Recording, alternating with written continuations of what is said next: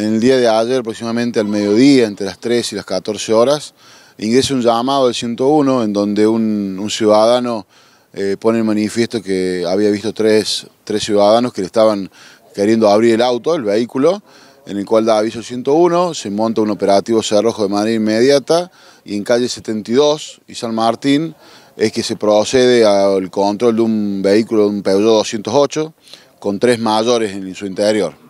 Una vez, una vez que se, lo, los hace descender el vehículo, se encuentra un inhibidor de alarmas y, y llaves varias. Eh, aparentemente lo usarían estos individuos para, para abrir los, vehículos. El vecino que da aviso eh, logró identificar a estas personas.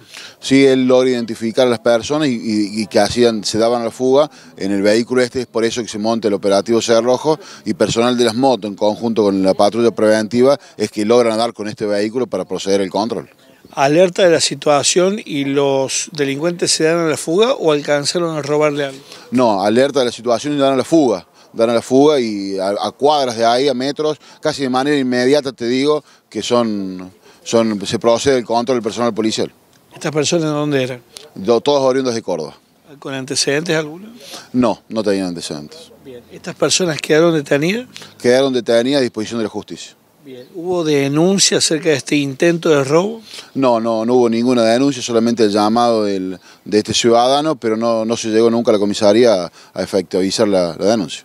¿Tuvieron en las últimas horas algún llamado, alguna denuncia por una situación de este tipo? Digo, quizás cometieron algún otro ilícito momentos antes.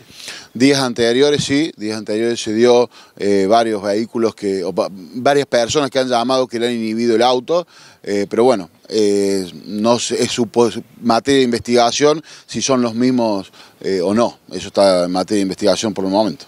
Bien es importante siempre hacer la denuncia ante un tipo de hechos de, este, de estas naturales. Es aconsejable, sí, porque nos da eh, más poder a nosotros en el sentido de que, de que una vez que nosotros podemos dar con estos individuos, de que se pueda lograr la detención y poder relacionarlos con estos hechos.